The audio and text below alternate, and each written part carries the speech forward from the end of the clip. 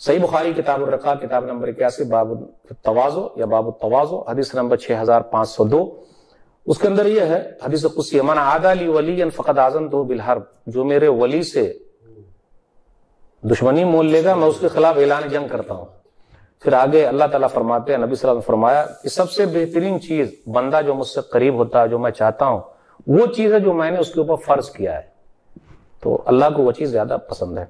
फिर उसके बाद कहा कि वो चीज़ जिसके ज़रिए मैं बंदे से करीब हो जाता और मैं मोहब्बत करने लगता, वो है नवाफिल तो नफली कोई भी चीज़ हो सकती है। नमाज़ भी है, रोजा भी है।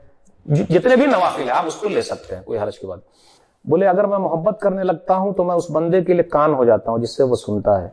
आँख हो जाता हूँ, जिससे वो देखता है। उसका हाथ बन जाता हूँ, जिससे वो पकड़ता है। उसके पाँव बन जाता हूँ, जिससे वो चलता है।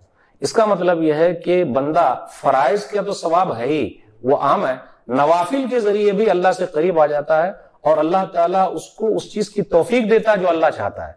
तो यहाँ हाथ बनना या पाँव बनना या कान बनना ये मकसद बनना नहीं है। ये मकसद ये कि वो वही चीज़ सुनता है जो अल्लाह चाहते हैं। वही चीज़ देखता है जो अल्लाह चाहते हैं। वही चीज़ की तरफ़ जाता है जो अल्लाह उसको लेना चाहता है। ये नफली इबादतों का फ़ायदा है। फ़ायदा है। हाथ बनने का मतलब। हाथ से वही काम करे वही तो जो अल्लाह चाहते हैं। हो। हाँ का मतलब हाँ। वही काम करे अल्लाह राज़ी हो। फिर आँख से देखेगा वही जो अल्लाह चाहते ये नफली इबादतों का फल मिला है। सवाब है। फिर आगे ये है कि बंदा अगर मांग ले तो मैं दे देता हूँ। और अगर पना तलब कर ले तो मैं पना देता हूँ। मुझे एक चीज़ से तकलीफ़ होती है। अल्लाह कहते हैं कि जब मैं मोमिन मंदे की रूह कब्ज करता हूँ क्योंकि मोमिन मंदा चाहता है कि रूह कब्ज ना हो तो मुझे भी उनकी तकलीफ़ की वजह से तकलीफ़ होती है कि मैं उसकी रूह को कब्ज कर रहा हूँ।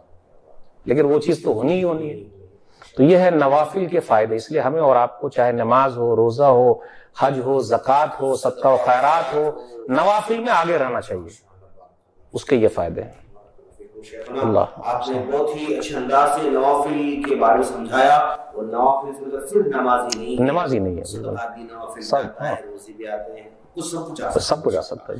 मुनासिब दुआ करते हैं। अल्लाह ताला हम तमाम को फ़राइज़ के साथ साथ नवाफिल के एहतमाम करने की तौफीक अता फरमाए। आमीन। अस्सलाम वालेकुम व रहमतुल्लाहि व बरकातुहू